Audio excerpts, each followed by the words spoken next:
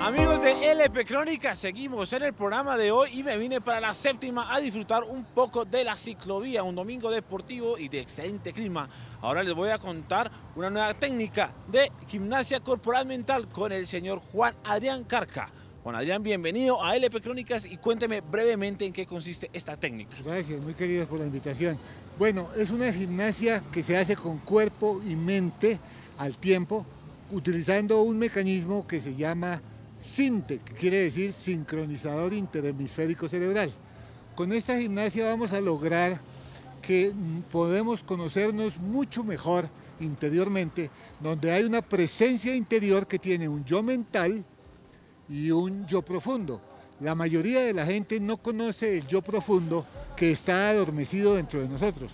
Pues bueno, con estos ejercicios de gimnasia corporal mental vamos a aprender a liberar al yo profundo que todos tenemos por dentro. Una vez que este yo profundo quede liberado, va a iluminar al yo mental y nuestras actuaciones o nuestra funcionalidad en el mundo va a ser mucho mejor.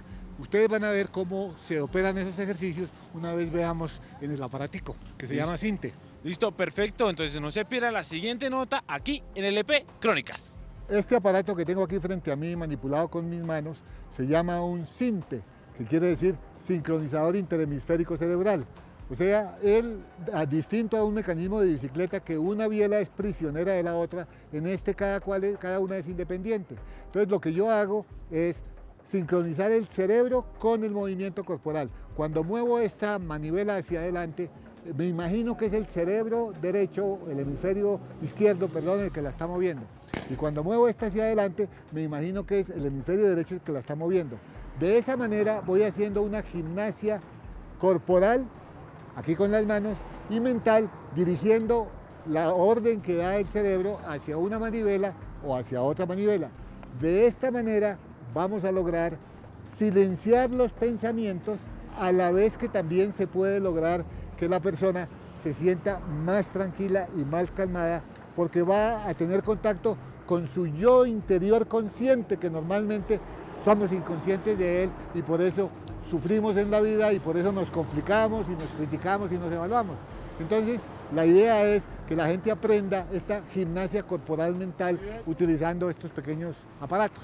Ah, simplemente por unas cuantas veces, siete, ocho, diez veces tú mueves hacia un lado y del otro lado mueves hacia el otro lado y luego en la otra similarmente mueves una en una dirección y otro en la otra o luego otras siete o diez veces mueves una en la otra en dirección en la otra.